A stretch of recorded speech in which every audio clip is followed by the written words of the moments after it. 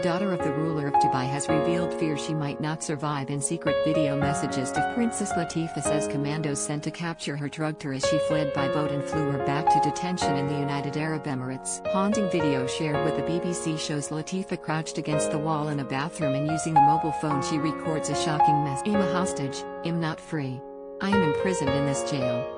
My life is not in my hands, the 35-year-old's three years ago, with the help of her friend Tiina Jauhiainen, Latifa tried to flee Dubai for a new days into her escape she was forcibly removed by armed men on a yacht off the coast of India, and taken back to Dubai. In the videos Latifa says, I have been here ever since, for more than a year in solitary, no access to medical help, no trial, no charge, nothing.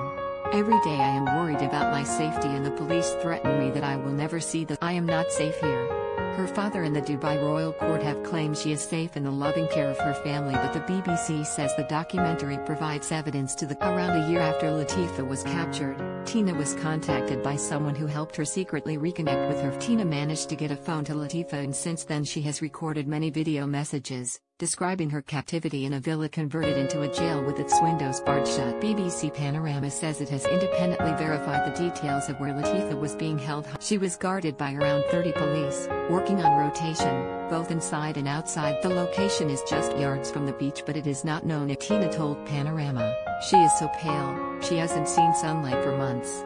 She can basically move just from her room to the kitchen and back. Latifa is the daughter of Sheikh Mohammed bin Rashid Al Maktoum, one of the richest heads of state in the She reportedly fled the country to seek political asylum abroad in late February of 2018. According to Jean-Pierre Hervé Jaubert, a former French spy who helped in the escape attempt, the princess made a dramatic bid for freedom by traveling on jet skis from Oman to a waiting yacht called Nostromo. They then set sail for Goa, in India but after a week at sea on the Indian Ocean, Mr. Jaubert claims they were spotted and then monitored by reconnaissance. 50 miles off Goa they were boarded and she was taken back to Dubai.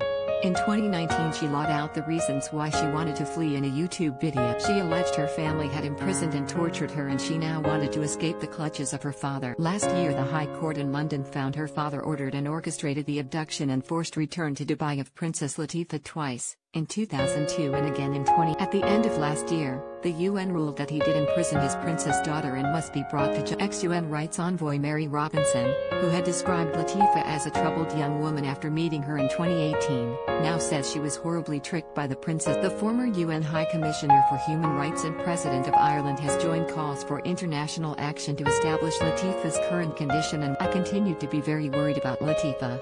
Things have moved on.